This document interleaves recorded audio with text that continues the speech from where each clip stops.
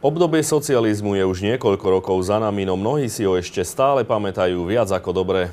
Zaspomínať si na nie práve najveselšie časy z tohto obdobia si môžete v múzeu v Novom meste nad Váhom.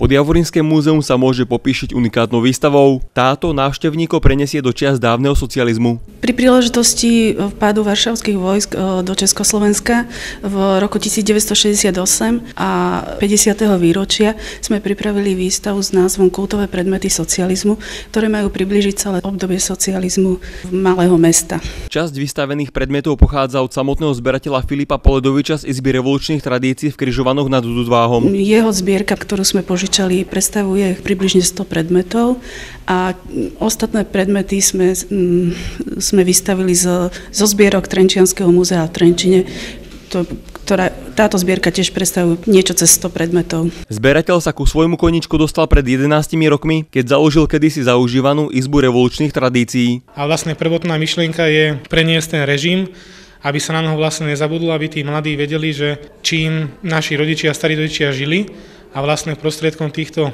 exponátov sa dokázali ich nejako priblížiť k tej dobe pred novembrom 89. Zbierka odštartovala vlajkami rôznych podnikov a športových či všeobecných organizácií. Cez tú históriu napríklad tých jednotlivých rolnických družstiev dostal vlastne až na ten základ a to bol vlastne február 48. A naštudoval som si históriu, vlastne prečo to bolo, povojnové obdobie, ako sa rozdeľovala celá východná Európa a tak ďalej teda. No a čo sa týka veľkosti zbierky, počet predmetov sa ráta až na tisíce. Pre mňa je najcenejšie všetko, lebo prakticky tie veci sa už nedajú kúpiť a poteším sa úplne hocičomu z toho režimu. A najviac také srdcovky sú z blízkosti nášho bydliska, teda okolia Trnavy a vlastne toho západného Slovenska celého. Cieľom zbierky je zdokumentovať celý priebeh socializmu v Československu od februára 1969 až po november 1989. A takým spôsobom, aby tie jednotlivé veci boli rošlené napríklad na domácnosť, kancelárie, družstvo, šport a potom ten politický priebeh napríklad február 68, 50. roky,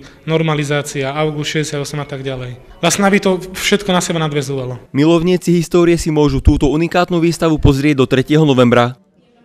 Juraj Oríšek, televízia Pohoda.